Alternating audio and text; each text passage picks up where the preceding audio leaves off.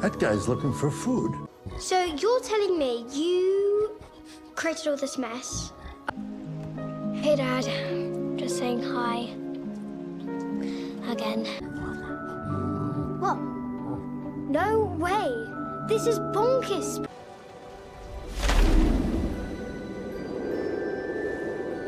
Get down, Dad. Come on.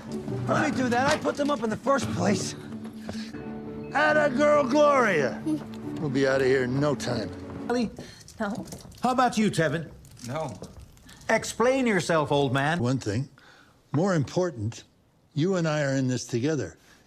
What's that mean? That means reindeer don't live anywhere around these parts. This here is Curmudgeon Corner.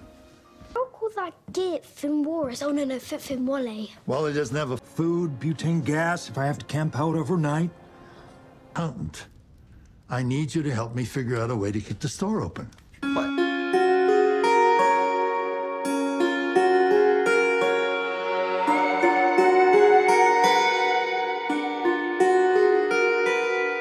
Dad,